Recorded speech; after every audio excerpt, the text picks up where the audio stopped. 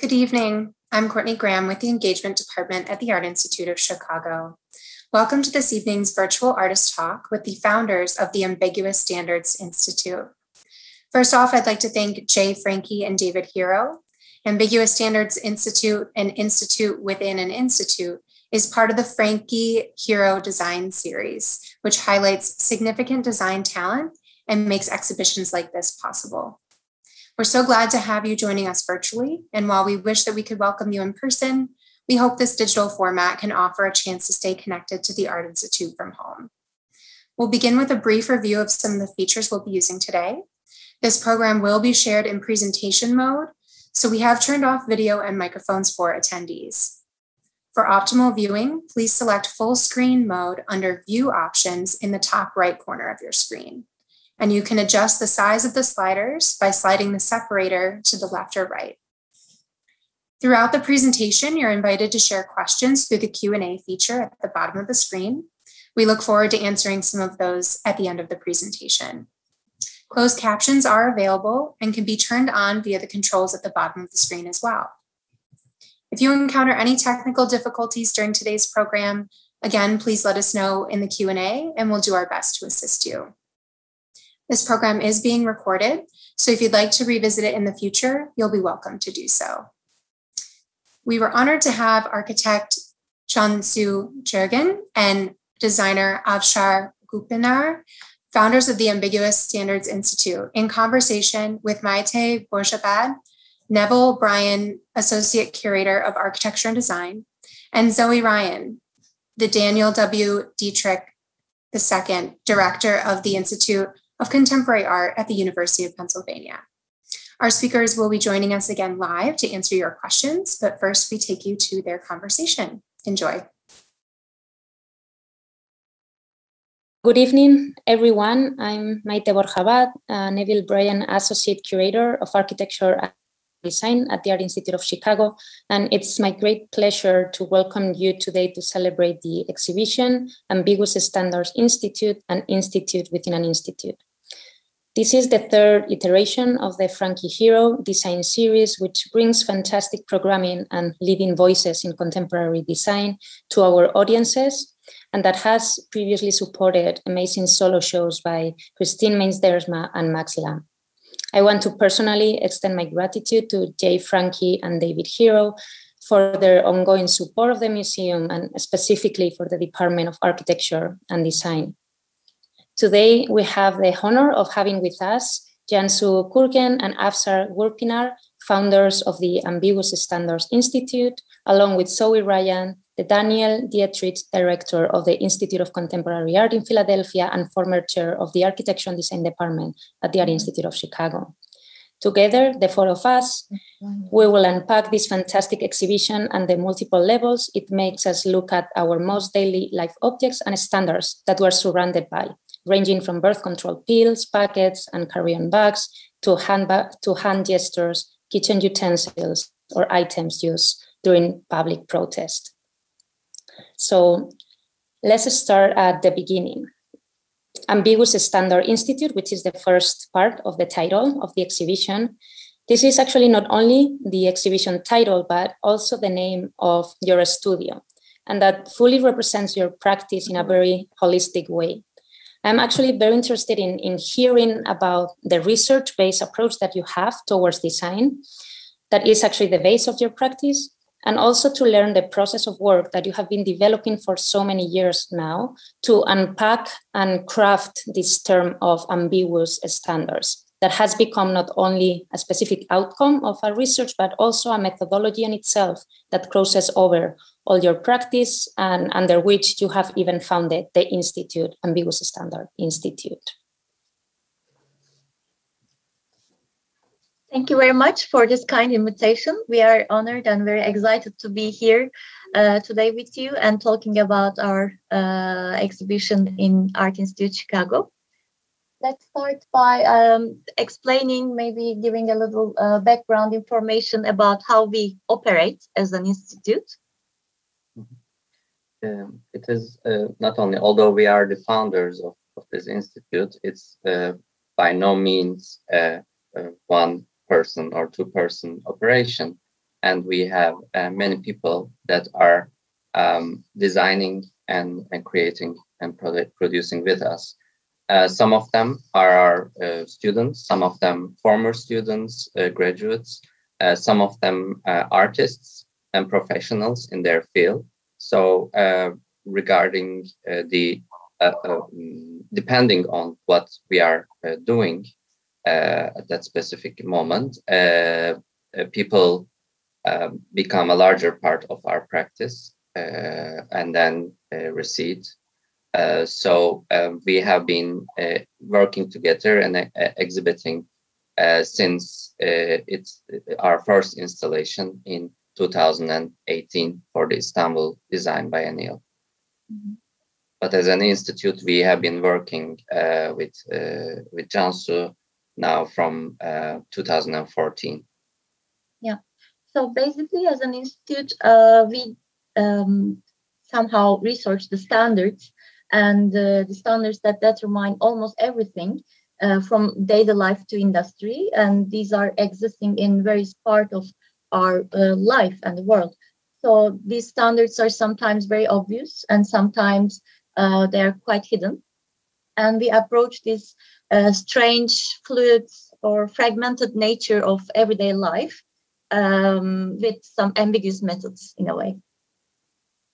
Yes, uh, and uh, we cannot say we are uh, disorganized in any way, but uh, we can say we have a, a, sophisticated and complicated way of working. It's not always very, very direct, or it's not always uh, very clear uh, during the process what we are trying to do, what we are trying to achieve. There can be secondary or tertiary even justifications of what we are doing, but uh, what we do, we almost uh, we always do with um, uh, precision and and seriousness, and we work towards achieving um, uh, to provide a, a clearer understanding of the issues that are shaped around uh, these ambiguous standards.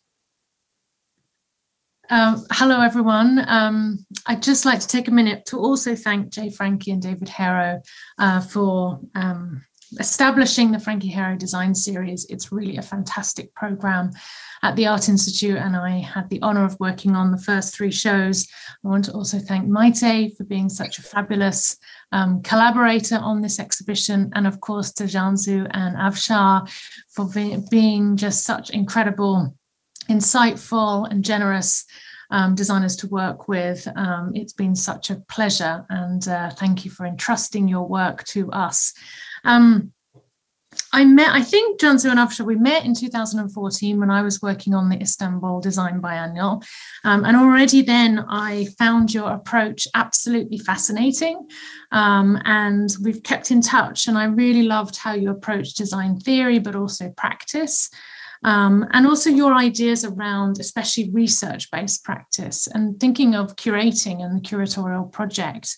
And it's one of the things when I saw um, the Ambiguous Standards Institute and your work first at the 2018 um, Istanbul Design Biennial, and you're seeing images on your screen um, from that installation, I was immediately captured um, just by the intensity of the project but also how interesting it was as a um, as an idea, a way of interrogating not only pressing concerns and really important issues within society, but also really questioning the field of curating and the practice of design itself, um, asking questions about what constitutes research um, or the curatorial project, um, and how we can bring that into the exhibition space. And I love how you question standards, um, as you call them, ambiguous standards or non standard standards to interrogate how the world is constructed.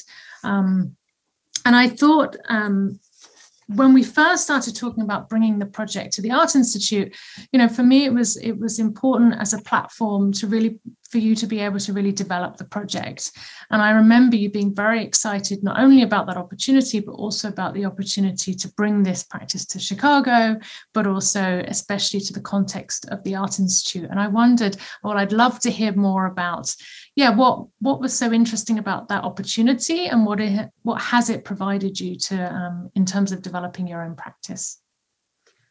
Thank you so much, Zoe. Um, it's a, again a great honor for us to uh, situate inside of one of the galleries of Art Institute Chicago. And um, as you mentioned, uh, we started out um, exhibiting with Design Biennial in Istanbul under the curatorship of Jan Boelen and her, his team. And uh, from the moment uh, onwards, we always imagined an institute that is traveling, uh, that is uh, traveling and uh, making new showcases in different and even distant places. So from that moment on, we envisioned and dreamed about also uh, having different branches in all over the world.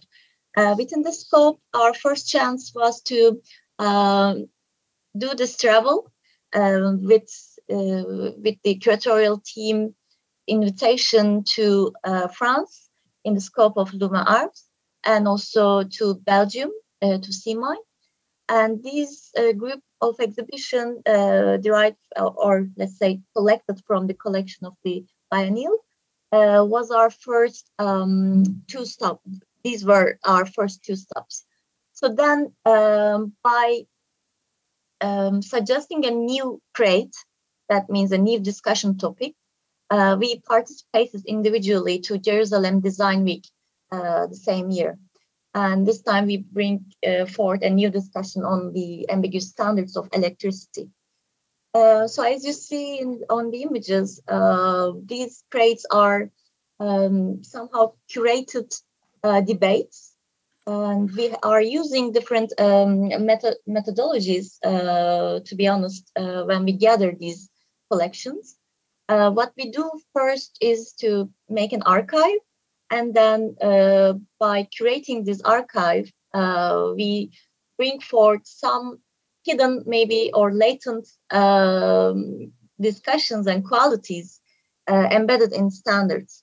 So, in a sense, uh, building an archive is a key feature for us. And when we situated first um, in Art Institute, which is uh, not a biennial, which is not a temporary uh, space, uh, it is indeed a very um, institution, the, the, heart of the institution. So um, making an exhibition within an institute, institution, which is a quite serious one, and the collection is immense, uh, was altogether a different um, experience for us. Yes, uh, probably uh, the the major uh, transformation the institute has experienced was in 2018. So the exhibition you are seeing now uh, in the Istanbul Design Biennial was actually the result of these uh, four years of research and writing and thinking and discussion. So the, the, the year before the design biennial uh, has actually went with intense discussions with, with Jan Boelen. Mm-hmm. Uh, we have started the institute with uh, first uh, actually making a list, ma- writing down the ambiguous standards we encounter in daily life, like I'll be there in no time, uh, or uh, the size of a matchbox, mm-hmm. you know. but um, and and we have arrived at this uh, physical manifestation of uh, of these uh, ideas, issues like the food or time or electricity and all the other crates that we are exhibiting now in uh, Um, and the, the physical man manifestation was these crates, and each crate is then uh, a collection or a curation of uh, different objects, um, which is uh, initiating debate um, around these uh, these issues. And um, yeah, well, and and also we um, the difference here between the the design biennial and the AIC exhibition is that uh, we are, as the name suggests, we have really um, taken up to this challenge of relating ourselves uh, to the institute itself uh, by not only uh, producing several crates, but uh, thinking about the content, thinking about the audience, thinking about the collection and the structure and uh, maybe the principles of the uh, Art Institute of uh, Chicago uh, during this process. And uh, in means of tasks, there were many different tasks were involved in the making of this exhibition from video shooting to text editing to writing to graphic design and product design and digital manufacture and so on. So the curatorial work was indeed very layered uh, because it is for the first time we are, we are uh, responsible for the whole uh, design of the exhibition, which also um, brings us uh, a certain responsibility being situated in a very serious institution and uh, being the um, creators of the crates, but also the exhibition. Uh, therefore, th there are many layers that maybe we can uh, talk through. But uh, as Avşar uh, summarized, I mean, we deal with um, the minute detail of the um, pedestals in which we place the crates or the graphical uh, design and their, I don't know, somehow organization and also um, many other issues. So, uh, in a sense, we are situated in a very um, let's say, delicate place, which is a gallery. And uh, this, this is one of the challenges maybe uh, for us. And the, the other challenge could be the uh, different standards of US soils. I mean, the electricity is different uh, than our country. Uh, the plugs, the measurement system is different. So, in a sense, we already experienced the ambiguity of the standards firsthand. I would love to go back to some of those um, concepts that uh, you just shared. When, when you talk about the, building this archive of standards, right, ultimately you're tracing all these standards. Um, and it seems as a very simple exercise, but by gathering and tracing all these standards, you're actually opening up and reveal, revealing a kind of a hidden network of power, right? As for instance, specifically like the example of the electricity crate precisely reflects just on a simple object of the outlet, it, reflect, it reflects the, the powers that remain and are performed and retained through the colonial project, right? Of the influence of uh, countries colonizing other countries and just by noticing that into the daily element of the electricity outlet. So in a way, when when you when the audience approaches your exhibition, identifies these multiple layers, and it's something that I really love about this exhibition because it makes a manageable approach to huge political issues, precisely for this careful layering and of all the elements that are playing together in the in the gallery right?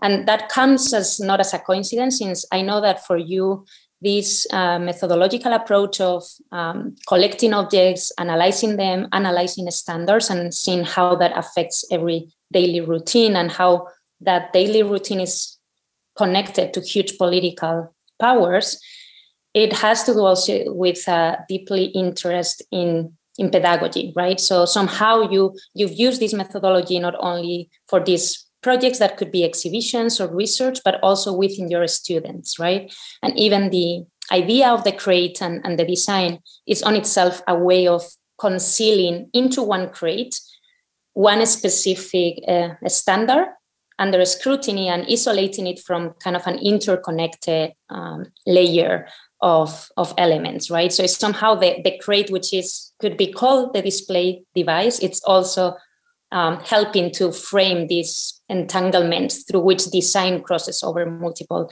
disciplines. So I, I, would really love to hear a bit more about that and the, the relevance of the of these creates as pedagogical tools and the connection within the exhibition device that you already briefly mentioned before.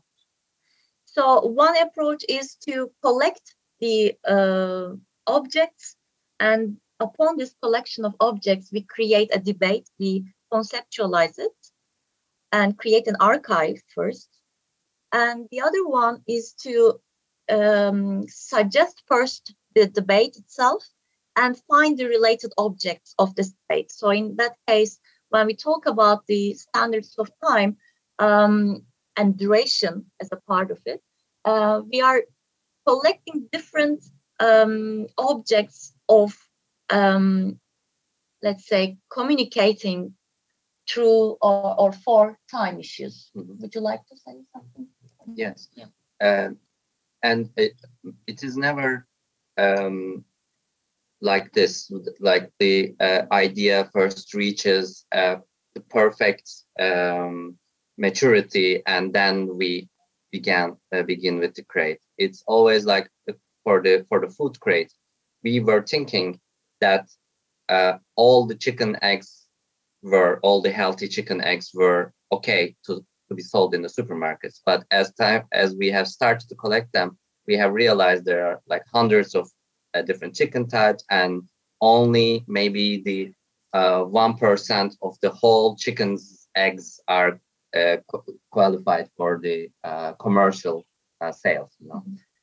So the same thing happened with the time. So we are starting with the time, and we are starting with the with these phrases, forever and ever, in matter of time, uh, or um, in the um, blink of an eye. In the blink of an eye, New York seconds. Uh, so many things are actually so many uh, uh expressions have penetrated our language, and so we have started from there. Uh, but as we move, move on, we have felt the need of uh, acquiring again, creating objects. Like we we need some objects to show our relationship to time and mm-hmm. show our uh, temporal uh, temporality.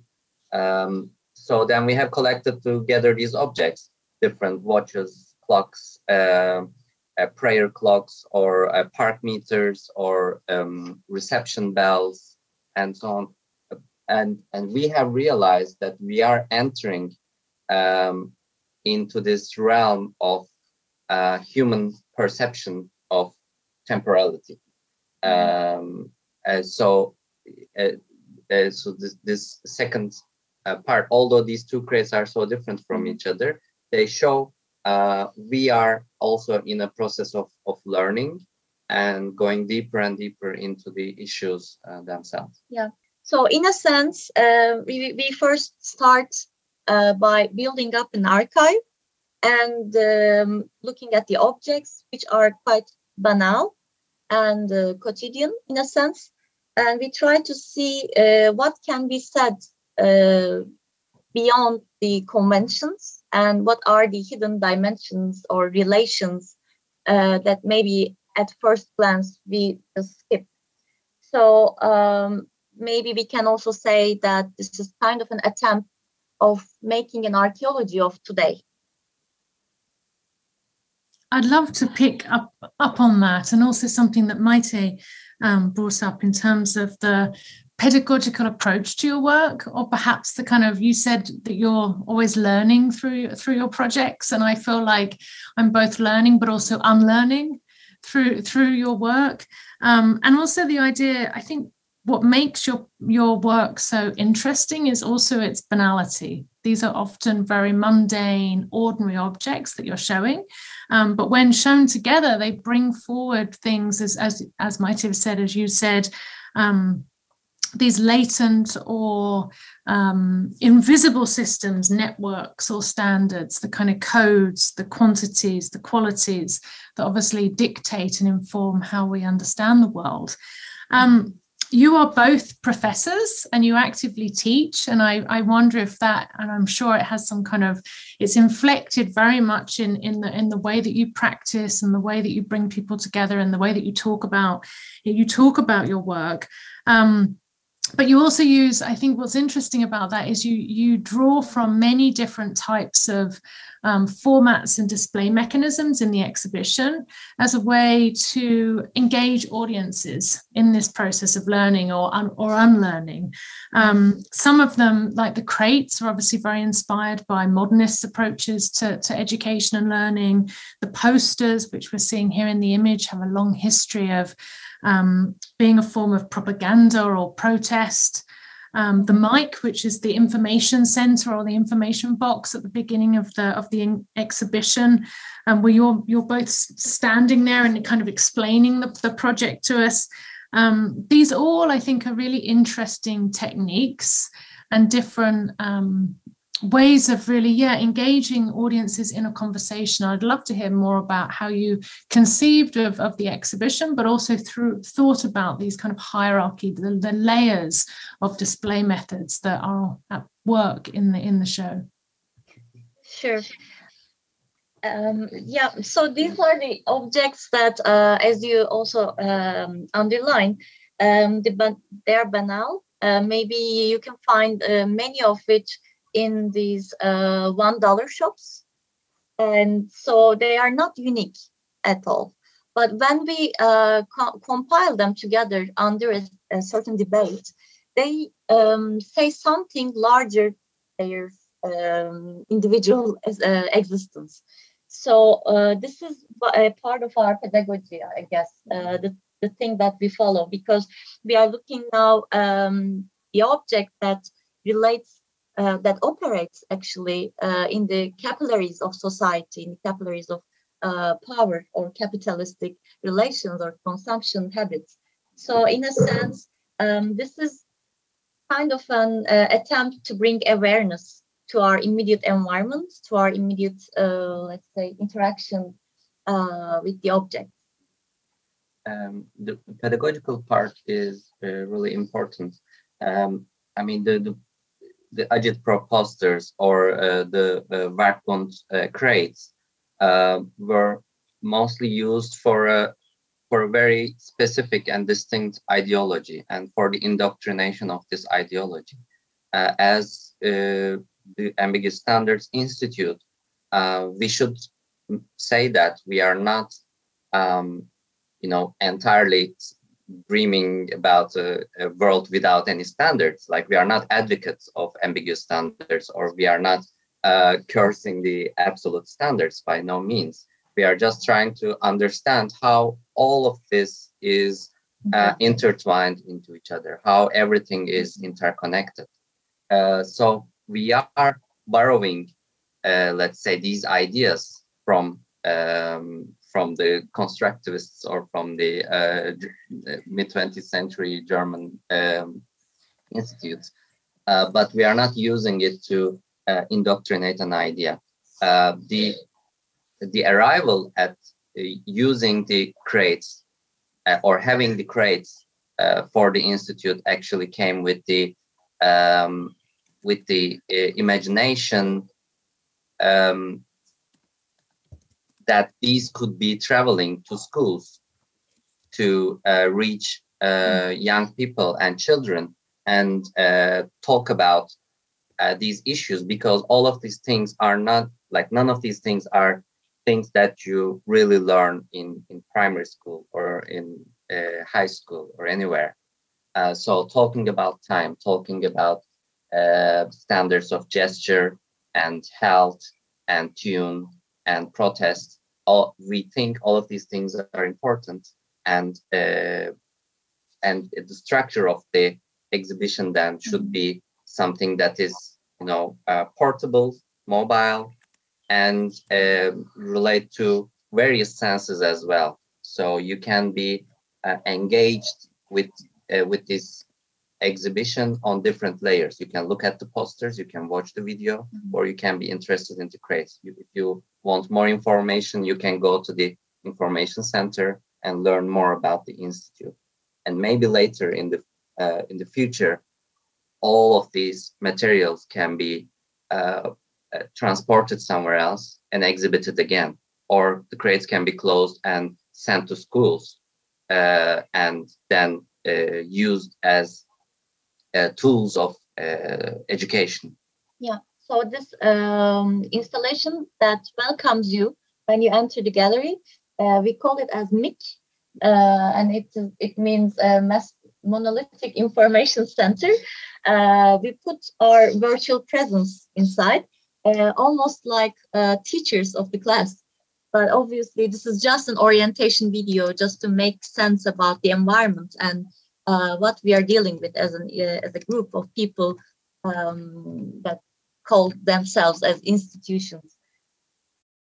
So going back to that idea you mentioned at the beginning on how you first started collecting concepts and then you moved into starting collecting objects, right? And surely you've been doing this for many years as now the crates that we find are very deliberate into the selection of objects and how this combination of objects allows very specific questions. Um, I would like to hear a bit more about the crate of protest because this specifically shows how contextual these daily life objects are, how loaded of, of terms and ideas can be, and how those loaded concepts attached to objects can also be mobilized really fast, even in time, changing the meaning and relevance and power mm-hmm. of these uh, objects. Sure. So um, in this protest object, this is one of the uh, crates that we designed uh, for this exhibition uh, specifically. And again, it is contextualized according to the, um, let's say, um, the agenda of these protests. And so therefore, maybe uh, this time of the year, some of these objects are not that relevant anymore, but it is important to keep track of the, let's say, time and events. So in a sense, um, the ones that you see again uh, are the, um, the, the banal ones, uh, the ones that you can find in every shop. So that is what makes them uh, very valuable. It is uh, how they become contextualized easily. So let's take, for example, uh, a yellow umbrella. Uh, it, it is um, somewhat loaded uh, in terms of its uh, daily meaning uh, differently in Hong Kong than rest of world. So it become became the symbol of the um, this yellow umbrella movement of Hong Kong people. They use it widely during their protests. so it, it, it happened to this, this um, let's say this extent uh, that now it's not uh, possible to buy this uh, very specific type of yellow umbrella even on digital uh, shopping platforms in Hong Kong. So they have a very strong political um, connaissance and mm-hmm. also very specialized uh, in terms of um, symbolizing the protests. So on one hand, it became that uh, ubiquitous because it was at the first place it it was being uh, sold in these uh, shops like i don't know um, the convenience stores mm-hmm. so and you know the climate of hong kong is very um, tropical mm-hmm. and humid and rainy so it's inevitable for people to carry on uh, umbrellas and once you find the version that is widely available in chain stores then it becomes an object in the hands of masses. And these masses are the protesters. So, and in this context, it becomes a very strong uh, political symbol. Likewise, um, they also have different meanings. I would like to share a personal, um, let's say, experience in that point. Um, the one that you see on the crate, the uh, pots and pans are very, um, again, widely used uh, in different cult- cultures, in different countries, protest different things. Uh, so much so that in Turkey, um, recently, at, uh, with the beginning of the COVID pandemic, it has been used at um, 9 o'clock uh, p.m. Uh, to, to support the uh, health workers. So everyone was going to the windows and flashing these pots and pans and make noise for their support to health workers. And just a week after that, these very objects started to be used uh, to protest, this time uh, intervention to a university's dean selection process. So you need to keep track of everything because just within a week or so in the same geography, the meaning of the object changes very, very rapidly. And you really cannot be sure about its meaning as well. And uh, all these objects are derived from uh, different protests all over the world. And we just uh, try to give some background information about their origins and uh, in which protests, in which countries, and when they had been uh, useful. So this is basically how things uh, can get contextualized uh, in this level of everyday experienced life. Cansu, that's just so fascinating to hear. Um, I'm really interested. Maybe we could I could take you back to how you founded the institution, maybe uh, um, the, the, sort of the the origin story in a way. Um, you even call yourselves institutions. Um, the kind of the collective that works together and today when so many of us who work in institutions are really rethinking our roles and responsibilities um, in a real time of, of radical change um, and with a necessary reckoning of our social, cultural, political systems and the, and the very foundations um, of these. I think it gives your work, um, you know, an added intensity. Um, and and t- it takes on new resonance, especially in this moment, um, encouraging to us to look closely, to look deeply, to not take for granted those sort of things that are are everywhere, all around us. I wondered what, um, in this context, what inspired you to start an institute um, and what historical precedents you were really informed by, but also you how you see the role of Ambiguous Standard Institute really challenging conventions um, mm. and notions of how organizations can be formed, um, but also this idea of yourselves as a collective practice. Yeah. So, um, of course, we are not the first ones, obviously, to put uh, objects in boxes. Uh, has been done many times in different uh, contexts or uh, framing things or bringing same type of things together.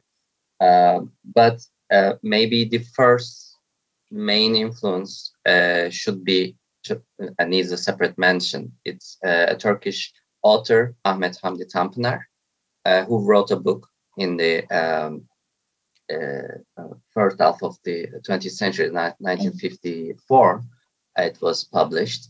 Uh, it's called the Time Regulation Institute, and here he actually questions the the temporality of the Turkish culture and stemming from centuries ago, uh, moving through the Ottoman Empire and then uh, trans, uh, transiting into the new republic who has a whole different type of understanding of the time. So uh, there, actually, he talks about this Office of the Time Regulation uh, Institute, um, which actually knows doesn't know what to do in the beginning, and they kind of um, find their own uh, interest and find their own job um, uh, later on. So um, the this uh, this was a main influence on us because uh, although all these national and transnational um, uh, um, institutions exist, like the ISO and Turkish Standards Institute, uh, ANSI, and uh, uh, uh, Deutsche um, DIN, Deutsche Institute for Normung. although these exist, there's nothing that really looks into the ambiguous ones. So uh, from the real life, these are uh, some uh, fictional and non-fictional institutions that has affected us. But uh, if we move into the uh, context of uh, art and design, we can say, first of all, as we have mentioned, the German Werkbund, the idea itself, putting things into create to be used as pedagogical tools um, uh, to learn about things is is a high influence. Mm-hmm. Um, uh, also, the uh, the uh, Mnemosyne Atlas by Aby Warburg, the Archaeology of the Present Times by, by Wajiro in the 1920s, um, the Shadow Boxes of Joseph Cornell, which um, a couple of which the Art Institute of Chicago also has in its collection um, the Fluxus boxes, um, the Tulse Luper Suitcases, uh, the movie series by uh, Peter Greenaway, but actually a multimedia project, um, artistic works, uh, or uh, the actual initiatives, such as the mass observation in 1937, um, and even the uh, Ministry of Strange Walks by uh, Monty Python sketch from the 1970s. Um, so all of these different mm-hmm. approaches, let's say, to, to objects, to cataloging, to archiving, to uh, um, um, bringing together um, to uh, to create a new uh, say or a mm-hmm. statement from the accumulation of the objects. Uh, all of these are um, are inspirations for us, without doubt. So as as we approach the end of the conversation, I wanted to go back to the very title again, but this time to the second part of the title, uh, an institute within an institute. So you have been speaking about collecting and how every crate is somehow an exercise of collecting things with a very specific agenda, right? To create that moderated discussion. And in that way, you, you are bringing your own collection of objects into the museum where they are actually merging within the museum's collection. And that speaks a bit to the idea of an institute within an institute. And actually, uh, at the end of the gallery, there is a video that uh, was actually created specifically for this exhibition, where you brought together some of your own objects with works from the Art Institute collection. So, in this gesture, I, I wonder first what, you know, like interesting findings and connections or unexpected connections you you found out because some of these as um, gatherings of objects you've been with them for a really long time but but when you gather those with extra objects in this case from really different periods what new ideas came? And the other question that comes to mind is like in a way you're presenting us with daily objects that somehow we can have in our own kitchen that morning before we enter the museum. And somehow that object gets redignified, right? It gets treated as an artwork. And mm-hmm. that exercise uh, really puts a different value into how we look at, the, at those objects. And after you leave the exhibition, actually, at least that happens for me after spending so much time in the space with your objects, your, with your assortment of objects, mm-hmm. then you go back into other galleries in the museum and start wondering, right? Like how those things came together.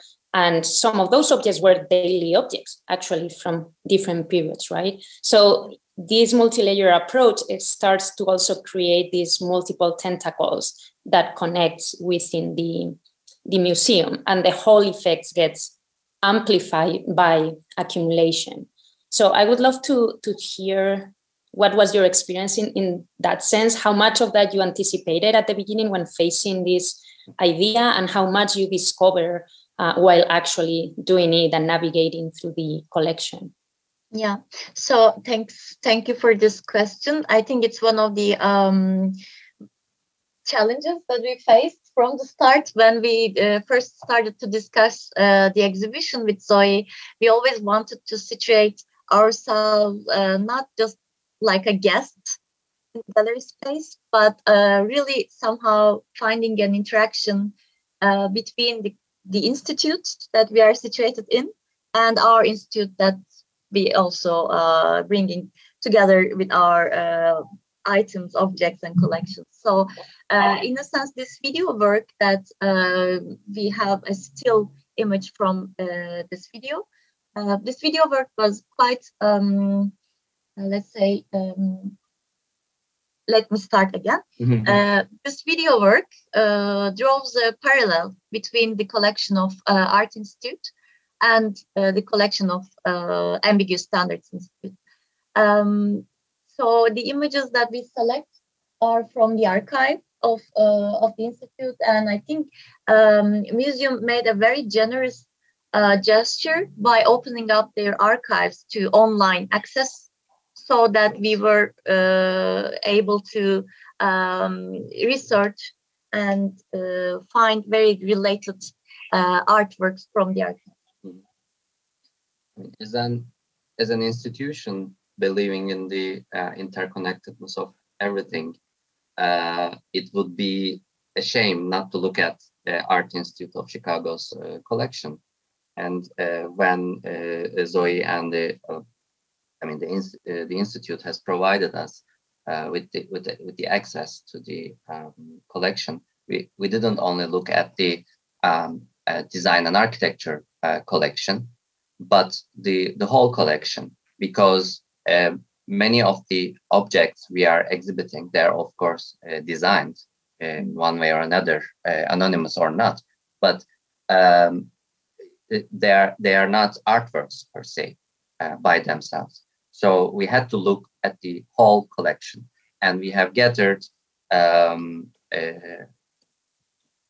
artworks, everyday objects, a kind of, a, for example, a teapot from uh, the Ming period, or um, a photograph uh, from uh, from a kitchen um, in Havana, let's say, um, artworks, design works, everyday objects, maybe objects which were quite quotidian in their own time as our objects uh, today. Mm. So um, this is also this also enables uh, different uh, levels of engagement with the exhibition. So as the as the audience, as uh, as the visitor, you can just look at the video mm-hmm. and and continue with uh, your um, mm-hmm. viewing, or you can really go inside the collection and uh, look and try to find these objects or uh, uh, learn more about their artists and so on. And so this can open up a, a new, a whole new um, uh, area of engagement with uh, with everyday life. So this is what we would like to do. Uh, actually, we would like also to question the idea, the issue of value of things. I mean, certain things that we are displaying are now um, maybe um, around us for their use values. But when you face with them in a museum space, and uh, if you see the similar uh, objects from the archives, it also uh, somehow elevated to the um, status of having a really uh, important exchange value or artistic value. So again, the value is also quite ambiguous in a way. Exactly. So uh, after um, we um, we have decided to to have this show. We're getting the invitation from Zoe, and then uh, starting to work, uh, thinking about like what she would do. Uh, so the planning process mm-hmm. went as planned, and for that we didn't need to be in the in the same place, you know. Uh, so we were having. Um, although we had the time difference, we were having meeting uh, with Zoe, but then um, something uh, weird happened. I mean, uh, almost at this time we were going to open the uh, the exhibition. we have learned that the that we cannot do it because because of the pandemic. So then we had the um, question of like whether we are going to have it or not, whether it's going to be postponed, uh, to be postponed to when, was it going to be canceled? Uh, so many yeah. questions. And then, um, so we ha- only had the, the, the, postponement. But then um, uh, Zoe uh, changed jobs. Mm-hmm. Then uh, also we had we had the pleasure to get um, get to know Maite, and then we have started to work with Maite, and all the production uh, here actually in Istanbul on, went under the conditions of the pandemic situation. So, uh, and also the installation on the other side, as you, as you can see from Maite, uh, was like through uh, Zoom talks. And um, actually, just uh, two days before uh, the opening in, in November, uh, the planned opening of November, uh, Maite learned that the museum is going to be closed in two days.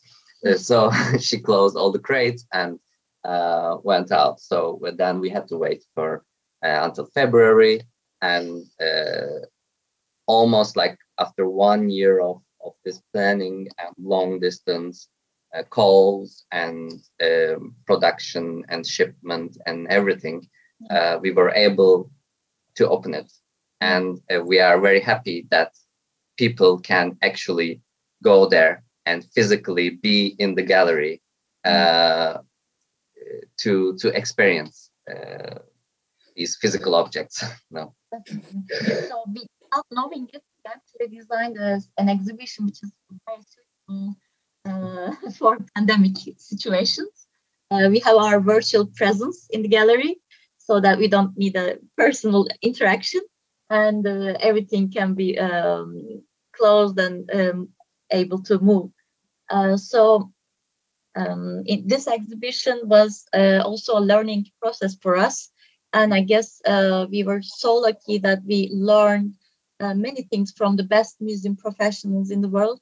And uh, for that, we are always um, grateful to you all. Thank you so much, uh, Cansu and, and Avşar. And as we have commented several times, couldn't have been a more ambiguous ambiguous way of uh, creating, conceptualizing, installing, and opening this exhibition. So somehow everything became a meta reflection of all the things that you're actually discussing. So I wanted to thank you uh, for your thoughtful work and thank you, the three of you, to be for being here with us. Cansu, Avşar and, and Zoe, and for all the thoughtful collaboration that has made this exhibition happen and that you can still visit for a few more days until we close the, the exhibition. Thank you. Thank you very much. And thank once again, thank you, Maite, and thank you, Zoe, for this uh, once in a lifetime opportunity that you uh, provided us. Thank you so much. We are uh, forever grateful. What a wonderful conversation. And of course, we are joined by the artists and our and our speakers um, for, for questions from the audience. Um, and we do have our, our first question.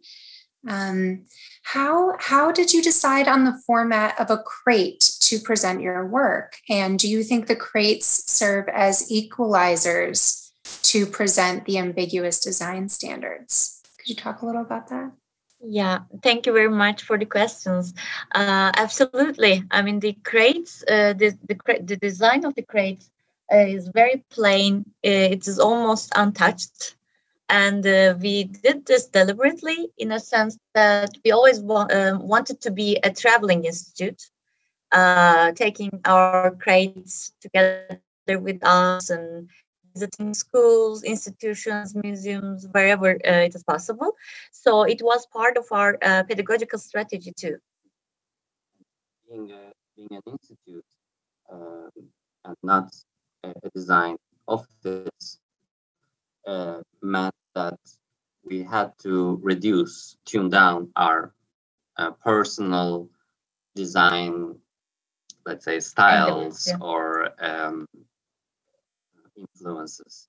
Uh, just like uh, a regular states like broadcasting channel or, or a newspaper or an, any institution, we have tried to have a very specific uh, language for for the artifacts that we are uh, producing, and we want them to be uh, replicable if we are not there, if uh, Cansu is uh, no more the CEO, uh, or if I'm no more the general secretary of the institute, all of these things should be uh, open to uh, uh, repeat and replicate.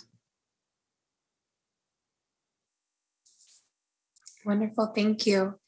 Um, we do we do have another question. I know you touched a bit on this, especially at the end. Um, what has been the most challenging part of presenting an exhibition during this past year? Well, uh, with everything except that the, the people that we collaborate.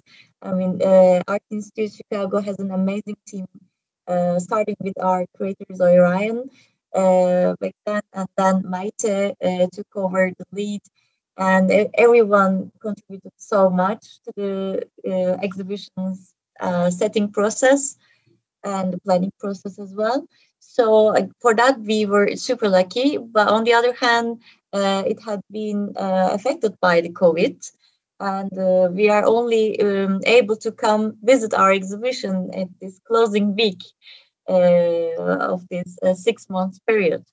But uh, again, uh, for the um, starting part, I mean, the first thing that is had been affected by the pandemic was not only our presence here, but uh, how we're gonna organize the crates, how we're gonna organize uh, or tune down the interactiveness of the exhibition itself. Because a part of it uh, is very um, designed or designated to be interactive and they are um, desired to be uh, touched and experienced firsthand. But since it's uh, covid is something that um, reduces the hand uh, senses and everything so that we needed needed to design the uh, let's say the electronic parts of the crates. And for that, we have a COVID switch. And hopefully, after the pandemic ends, we're planning to push the button of this COVID switch and uh, take out the plexi uh, coverings so that they can be interactive once again. And the other part about the uh, pandemic, maybe we can say that um, we, from the beginning, we wanted to um, add a level of interaction, maybe not by touching, but somehow implying that this is an institutional exhibition so that you are being welcomed by our vir- virtual presence. And it did work well uh, with the pandemic measures because even if we were there at the beginning, at the inauguration times, I mean, it wasn't changed much. Uh, so that we uh, utilize this uh, information center to welcome guests, even though we are very far away in a different time zone.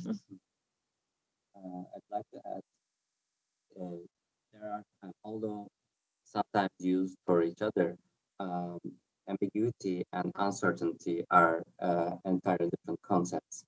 So we are, as, as human beings, we are more uh, better designed to deal with ambiguity all of these concepts, all of the words we are using for to to mark time, you to um, give a recipe or whatever, are, they are all ambiguous, but they don't frustrate us because we all uh, understand each other. What is difficult for us is uh, the concept of uncertainty, uh, like not being able to know when you are having that exhibition that you are going to have or for for Maite when she's installing this, she what she doesn't know is like uh, in two days the, the museum will be closed. Uh. So all of these things um, actually put put this challenge uh, on us because uh, it makes planning uh, a very very difficult and also a coordinating very difficult. Um, I mean, if this this exhibition is opening now in, in a different continent. This is a transatlantic exhibition, but it would have been as difficult as it was if it was somewhere in, in Anatolia, I believe, because uh, once the once pandemic hit, uh, all of our connection and all of our communication became um, uh, uh distant and virtual. In such an env- environment, it is uh, it was an extra difficulty for us to uh, design and produce and install a very tactile, uh, real exhibition.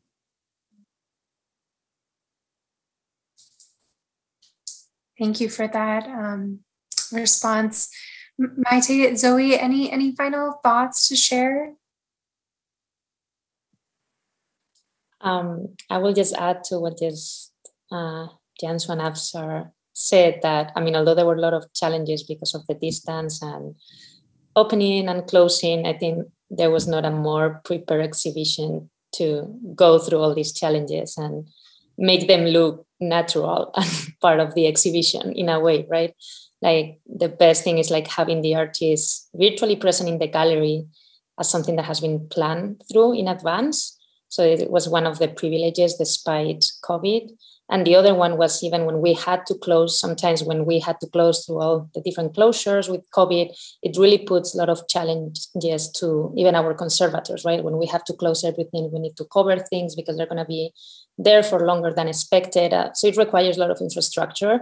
So it's always a part of tension, right, for everyone. And in this case, for this exhibition, was not even an issue. We just needed to literally close the crates because everything was so well prepared and thought through that even the challenges looked like easy. So um, I think despite that, we all made it safely and make it look like everything was planned which probably put the note of the irony that both of them usually make a very smart use throughout the whole work.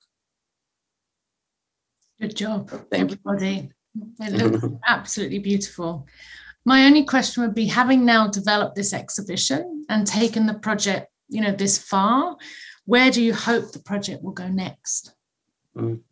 Well, um, we have a couple of ideas and First of all, we are very much dedicated to turn this project into a book, uh, proper book, because I mean, we, besides the crates and uh, besides what we are showing in the in the galleries, uh, there is so much going on at the background in terms of its research and its connections with different uh, standardized um, products or their documentation. So it definitely uh, goes into a book.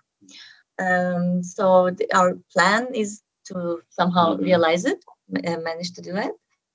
And this, the funny part, I would say that we are hoping to get an ISO 9000 certificate for our institute, which is the uh, quality um, certification uh, given by ISO International Standards Organization. So we are wondering if we are quality enough to to get it. Maybe we can try this as, an, as a part of our experimentation. Mm-hmm. That's excellent. Good luck. yes, we we look forward to the book. Um, yeah. th- thank you all again. Thank you, Cansu and Avşar and Maite and Zoe. And thank you all for joining us for this evening's program. We hope you get a chance to visit the exhibition Ambiguous Standards Institute, an institute within an institute, which is on view through Monday, June 7th. For more information on upcoming virtual events, please visit us online at artic.edu and look for our monthly e news in your inboxes. We look forward to seeing you again soon. Thanks, everyone.